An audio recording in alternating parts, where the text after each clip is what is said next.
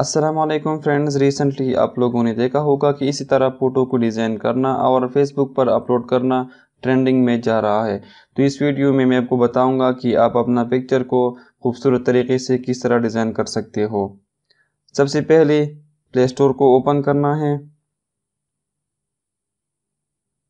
और यहाँ पर सर्च करना है। फ़ोटो लैब सर्च करने के बाद इसको इंस्टॉल करना है। मैंने इसको इंस्टॉल किया हुआ है तो मैं इसको ओपन करता हूँ।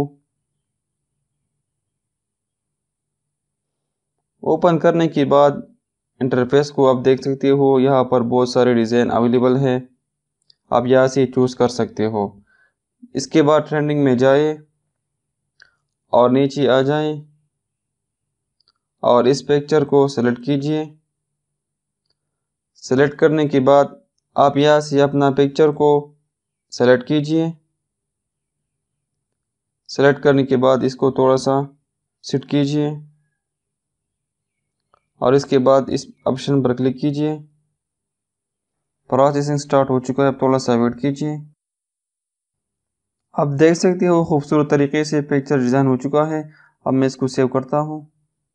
सेव टू डिवाइस इस पर क्लिक करता हूँ। गॉट एट डाउनलोड पर क्लिक कीजिए। स्किप। Image save. आप अपना पिक्चर को सोशल मीडिया पर शेयर कर सकते हो। तो आप लोग इसी तरह खूबसूरत डिज़ाइन बना सकते हो।